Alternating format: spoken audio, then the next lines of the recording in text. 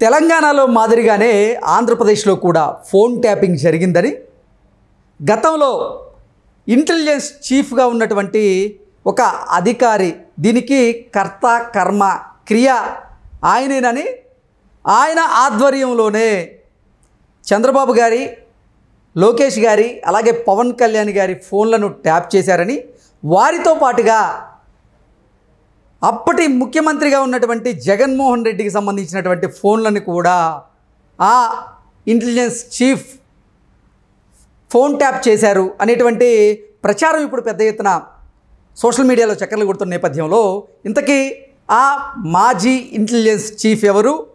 వారు ప్రతిపక్ష నాయకులతో పాటుగా అధికార పక్షంలో ఉన్నటువంటి ముఖ్యమంత్రి గారిని కూడా ఎందుకు ఫోన్ ట్యాప్ చేశారు అనేది మనం తెలుసుకునేటువంటి ప్రయత్నం అయితే చేద్దాం. ప్రస్తుతం మనతో పాటు ఉన్నారు ప్రముఖ రాజకీయ విశ్లేషకులు ప్రముఖ సీనియర్ జర్నలిస్ట్ దుర్గా వడ్లమణి గారు వారితో మాట్లాడదాం.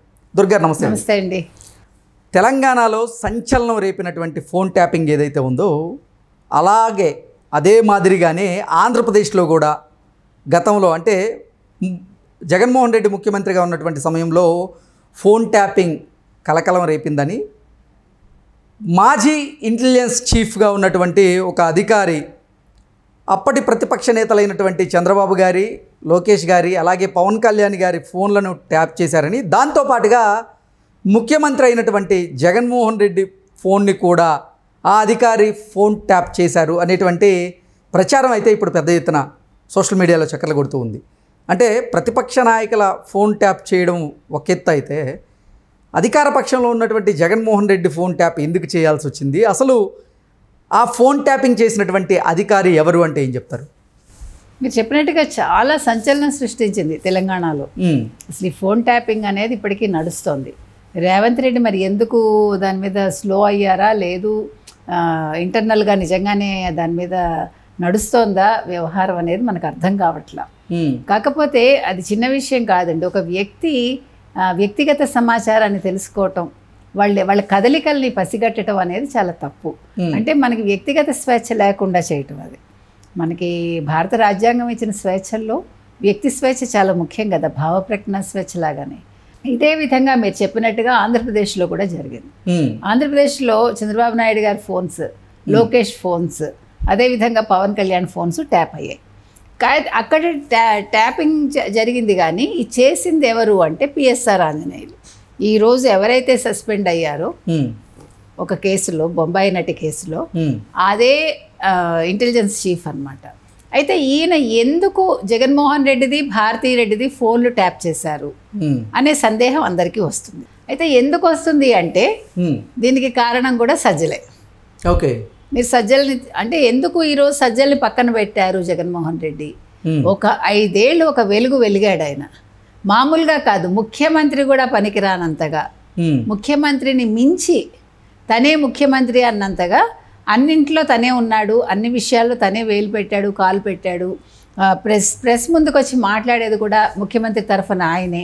అటువంటి సజ్జల కోసం పిఎస్ఆర్ ఆంజనేయులు ఎవరైతే ఇంటెలిజెన్స్ చీఫ్ ఉన్నారో ఆయన చేశారనమాట ఎందుకు చేశారు? సజ్జలకి ఏంటి అవసరం అంటే సజ్జలకి ఎక్కడో చిన్న భయం ఉందండి.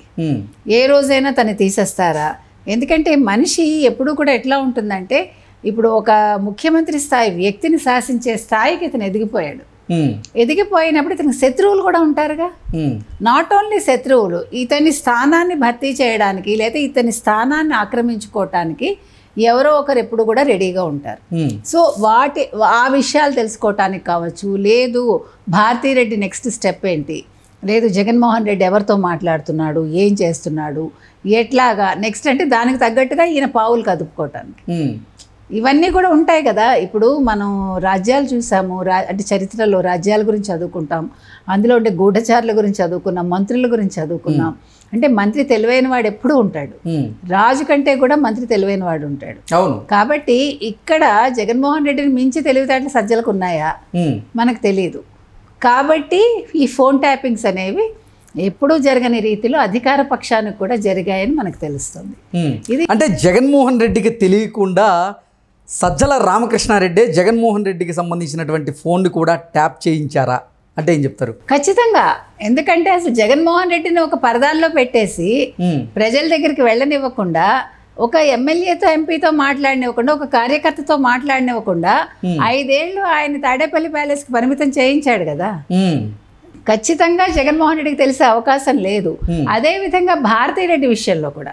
భారతీరెడ్డి సజ్జల అంటే బంధుత్వం ఉంది వాళ్ళకి ఒకే ఊరు వాళ్ళని మనం విన్నాము.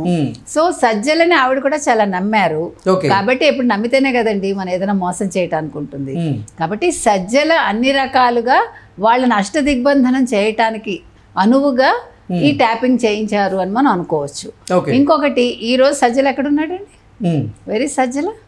ఎందుకు బయటికి రావట్లేదు? బర్మా వెళ్ళిపోయాడు అంటున్నారు వ్యాపార లావాదేవీలు అంటున్నారు. అంటే తను ముందే ఊహించుకుని ఇప్పుడు ఈ ఫోన్ ట్యాపింగ్ ఎందుకు చేయించాడు అనే దానికి ఇది కూడా ఒక కారణంగా మనం చెప్తాం ఓకే అసలు అంటే ఇటు ప్రతిపక్ష నాయకులకు సంబంధించినటువంటి ఫోన్లను కానీ అలాగే జగన్మోహన్ రెడ్డి ఫోన్ కానీ సజ్జల రామకృష్ణారెడ్డి గారు ఎందుకు ట్యాప్ చేయించినట్లు అంటే ఏం చెప్తారు?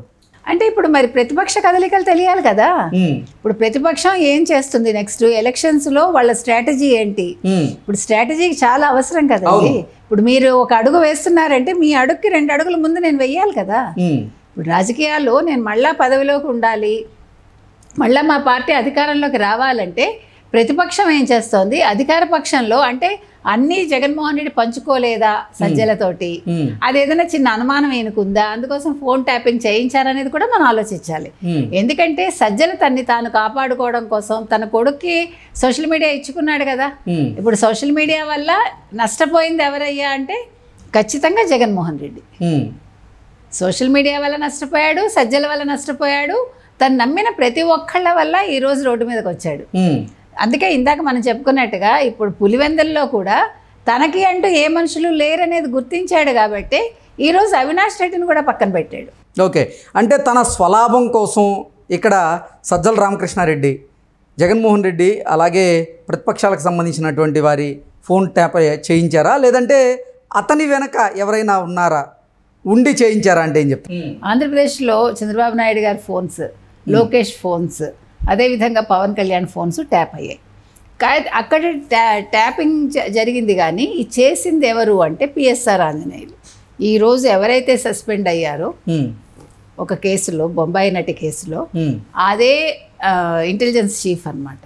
అయితే ఈయన ఎందుకు జగన్మోహన్ రెడ్డిది భారతీ రెడ్డిది ఫోన్లు ట్యాప్ చేశారు? అనే సందేహం అందరికీ వస్తుంది. ఉండి చేయించడానికి ఇప్పుడు ధనంజయ రెడ్డి ఈయనే బాగా హలా హవా నడిచిందండి. ఇప్పుడు శశికళ మనం చూసాం జయలలిత లైఫ్లో. Hmm. అట్లా యాక్చువల్గా ఈయన మగ శశికళ అనుకోండి సజ్జల. ఎవరు? జగన్మోహన్ రెడ్డి లైఫ్లో. Hmm. జగన్మోహన్ రెడ్డి అన్ని విధాలుగా భ్రష్టత్వం అయ్యాడు కదా. సర్వభ్రష్టత్వం అయిపోయాడు ఇప్పుడు. ఇప్పుడు ఏం చేయాలో? దిక్కుతోచని స్థితిలో ఉన్నాడు.